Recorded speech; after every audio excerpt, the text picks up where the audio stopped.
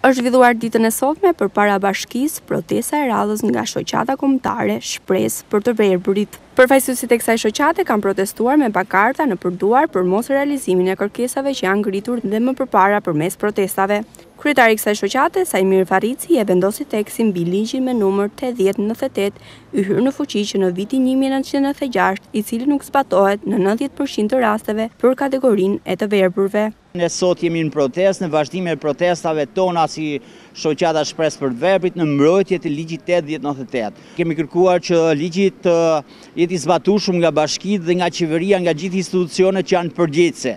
Ndër të tjera ai shprehu edhe shqetësimin se që nga viti dy mijë e pesëmbëdhjetë të verbrit nuk kanë marrë kompensimin e energjisë elektrike me vlerë gjashtëqind lekë të reja dhe kërkesat e tyre drejtuar Bashkisë Durrës dhe Ministrisë së Shëndetësisë së mbrojtjes sociale nuk janë marrë në konsideratë. Kemi ligjin mbi heqjen e fashës të energjisë elektrike, të verbrit e Durrësit sot nuk e përfitojnë kompensimin prej gjashtë mijë lekësh që nga viti dy mijë e pesëmbëdhjetë. Farrici tha se të verbrit ndihen të diskriminuar dhe nuk trajtohen si çdo qytetar i Republikës së Shqipërisë.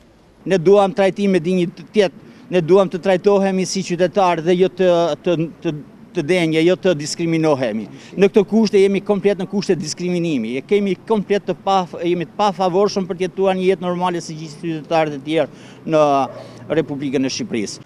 Ai gjithashtu pohoi se pavarësisht kontaktit me kryebashkiaken e Durrësit Emiriana Sako, Më njëzet e një shtator, e cila u premtoi zgjidhjen e problematikave që i shqetësojnë, por edhe pse kanë kaluar dy muaj, nuk kanë marrë asnjë zgjidhje.